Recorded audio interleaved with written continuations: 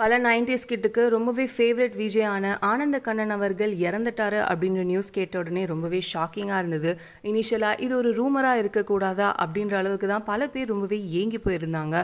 ஆனால் ஒரு official news வந்தோடனே எல்லாருமே ரொம்பவே நொந்து போயிட்டாங்க. அவருக்கு கால் பிளாடரில் கேன்சர் இருந்ததாகவும் அந்த கேன்சர் ஹோல் பாடியில் ஸ்ப்ரெட் ஆகிட்டு ட்ரீட்மெண்ட் பலனின்றி இறந்துட்டாரு அப்படின்ற நியூஸ் வெளியில் வந்தது. அண்ட் இவர் கேன்சரால் இறந்து போகணுமா? இவருக்கு சாகிற வயசா அப்படின்ற அளவுக்கு தான் சோஷியல் மீடியாவில் பல பேர் அவங்களோட வருத்தத்தை தெரிவிச்சிட்டு இருந்தாங்க. அந்த வகையில் ஆனந்த கண்ணன் அவர்களோட ட்ராவல் பண்ண அவரோட ஃப்ரெண்ட்ஸ் எல்லாருமே அவங்களோட வருத்தத்தை சோஷியல் மீடியா மூலிமா ஷேர் பண்ணியிருந்தாங்க. அது மட்டும் இல்லாமல் அவங்களோட ட்ராவல் பண்ண அந்த நாஸ்டாலஜியா மெமரிஸுமே ஷேர் பண்ணியிருந்தாங்க.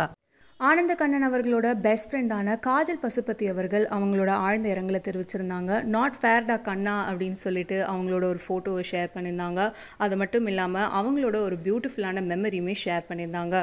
பிக் பாஸ் டைமில் ஆனந்த கண்ணன் அவர்கள் ரொம்பவே ஒரு பாசிட்டிவான போஸ்ட் வந்து ஷேர் பண்ணியிருந்தாங்க. அதை ரீஷேர் பண்ணியிருந்தாங்க. ரெஸ்ட் இன் பீஸ் தா கண்ணா அப்படின்னு சொல்லிட்டு அவங்களோட இரங்கலை தெரிவிச்சிருந்தாங்க.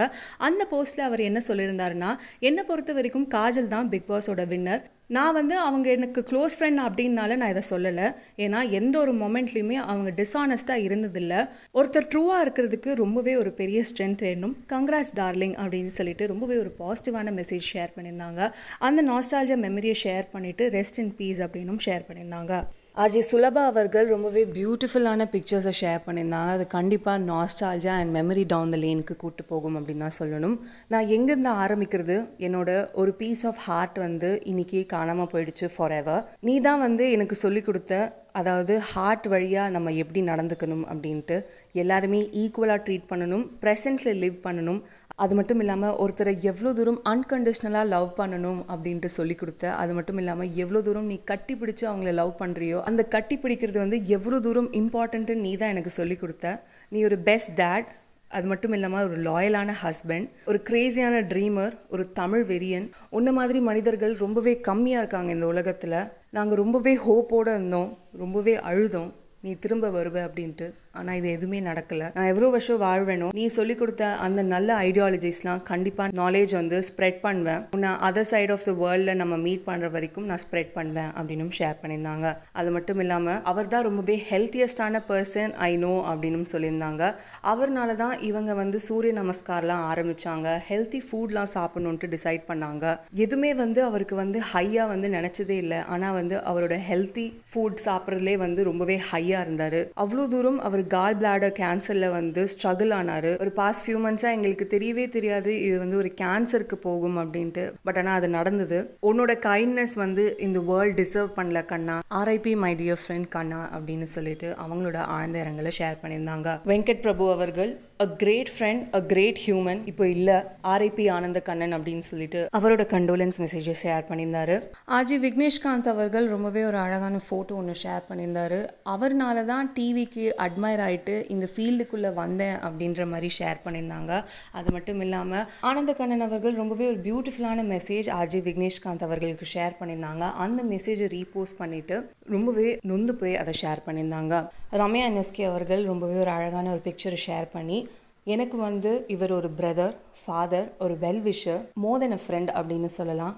எனக்கு எல்லாமே இவர் தான் நான் என்னோட ஹாப்பினஸ்லேருந்து என்னோட பெயின் வரைக்கும் நான் எல்லாத்தையுமே இவருக்கு ஷேர் பண்ணியிருக்கேன். எப்போவுமே நான் சொல்கிறத வந்து கேட்டுப்பார் அது மட்டும் இல்லாமல் எப்படி நான் வாழணும் அப்படின்னு சொல்லி கொடுத்துருக்காரு.